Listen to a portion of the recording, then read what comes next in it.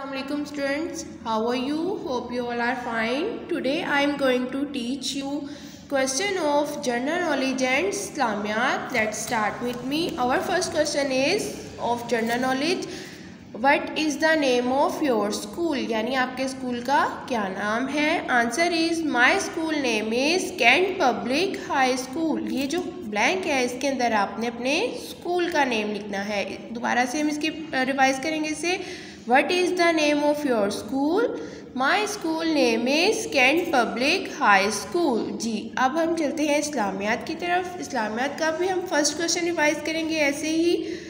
पहला सवाल है हमारे पास, हर काम शुरू करने से पहले क्या पढ़ना चाहिए? जवाब है, हर काम शुरू करने से पहले बिस्मिल्लाह पढ़ना चाहिए। ये बात तो सब बच्चे जानते हैं कि जब हम क्लास में भी आपको बताते हैं कि बेटा सबसे पहले आपने बिस्मिल्लाह पढ़नी है, फिर आपने काम शुरू करना है। इसी तरह से आपने बार बार इसको रिवाइज़ करना है। आपको बहुत अच्छे तरीके से ये क्वेश्चंस याद हो जाएँगे। एक दफ़ा फिर से रिवाइज़ करते हैं। हर काम शुरू करने से पहले क्या पढ़ना चाहिए? हर काम शुरू करने से पहले बिस्मिल्लाह पढ़नी चाहिए। ठीक है? बेटे, इसी तरह से आपने इसको रिवाइज़ करना है। उम्मीद है आपको मेरा लेक्चर समझ आया होगा। नेक्स्ट वीडियो में मिलते हैं। अल्लाह हाफिज़।